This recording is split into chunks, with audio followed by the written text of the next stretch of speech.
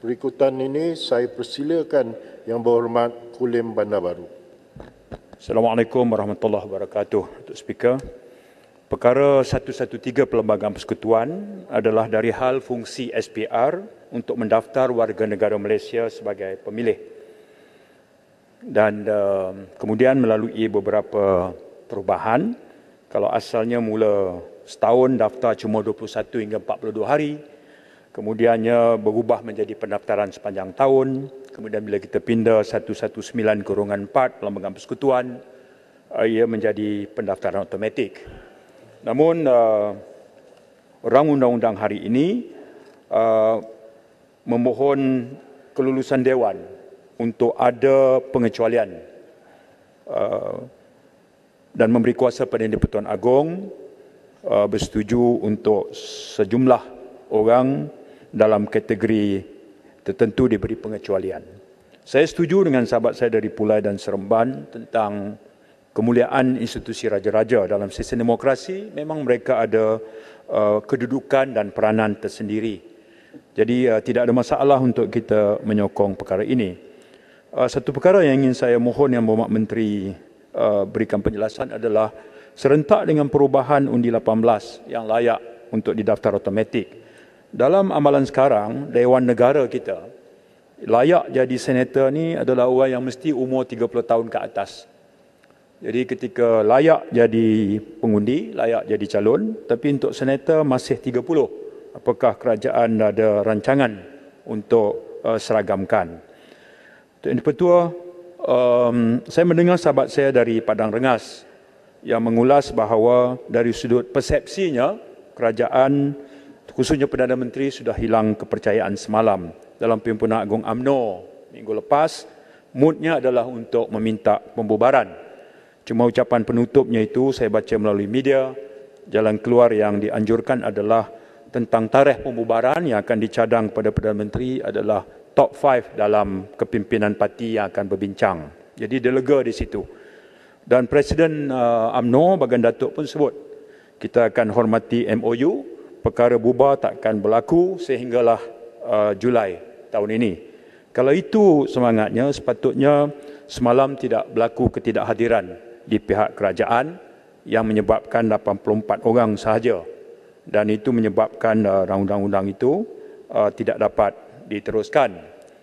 Betul-betul, kebetulan uh, saya menduduki jawatan kuas pengurusi bersama dengan Larut dalam jawatan kuasa MOU saya mewakili Pakatan Harapan, Larut mewakili pihak kerajaan. Uh, dalam undang-undang yang kita bincang sekarang, uh, memang sah dan sahih kita teliti pembentangan bersama oleh Yang Berhormat Menteri uh, tanpa khilaf. Begitulah amalannya. Sebelum ini pun ketika pembentangan bajet, Yang Berhormat Menteri Kewangan juga mengadakan libat urus tidak kurang sembilan kali uh, sesuai dengan semangat uh, MOU kita. Dan semalam waktu bertemu Perdana Menteri pun uh, kita maklumkan bahawa untuk usul semalam uh, hal itu tidak berlaku. Jadi uh, sebab itu kita nyatakan terus terang pendirian kita mengenai keputusan semalam.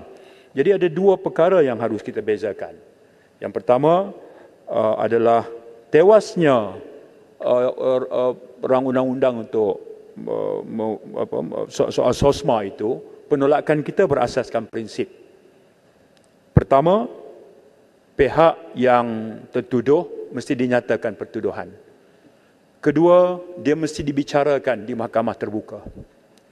Ketiga, dia diberi peluang untuk mengatur pasukan pembelaan. Keempat, jika dia dapati bersalah, ada ruang untuk dia membuat rayuan.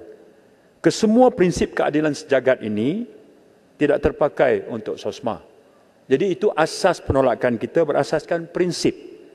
Jadi ini juga sesuai dengan peranan ahli parlimen, peranan semak dan imbang, peranan oversight rule, pemantauan dan peranan untuk menggubah dasar dan polisi. Jadi perkara itu sangat terang. MOU sekalipun, kalau ada yang masih beranggapan bahawa itu mematikan uh, ketangkasan pihak pembangkang, ternyata tidak betul. Tapi dalam soal yang kita rasa munasabah, di mana pihak kerajaan betul-betul menghormati semangat MOU. Mekanisme uh, perbincangan itu diadakan begitu intensif. Saya harus akui secara jujur yang Muhammad Menteri ini menjalankan kewajipannya, memberikan penjelasan. Seperti juga akta lompat parti. Apabila ruang diberi kepada kami untuk berdialog dengan peguam negara, dibincangkan perkara-perkara yang perlu dimuktamadkan, diatasi dari sudut tafsirannya, dari sudut definisinya, dari sudut konteks uh, undang-undang yang nak kita kemukakan.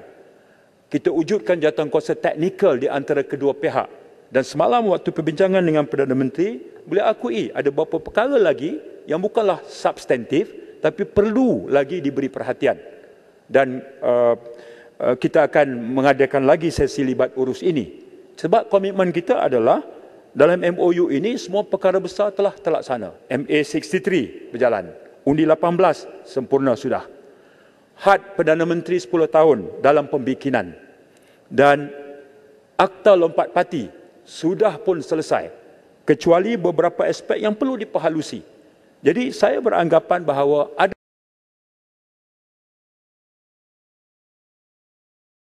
progresnya. Sebab itu apabila kita persetujui semalam dalam pertemuan dengan Perdana Menteri bahawa Ramadan bulan suci, bulan mulia Mudah-mudahan kita dapat selesaikan urusan kita waktu itu. Dan komitmen kita adalah untuk mempermudahkan, bukan mempersulitkan. Kalau ada halangan dan kekangan, bawa berbincang dan uruskan. Pentingnya ialah kita nak outlaw hopping. Itu prinsipnya. Kita tak mau persulitkan. Sebab itu, Datuk Speaker, kami mengambil ketetapan dan pendirian bahawa uh, cadangan untuk meminda Perlembagaan Persekutuan dalam perkara 119 ini kami akan mengambil pendirian tanpa ragu untuk ikut menyokong sepenuhnya. Terima kasih. Terima kasih Kulim Bandar Baru uh, perbah, pe,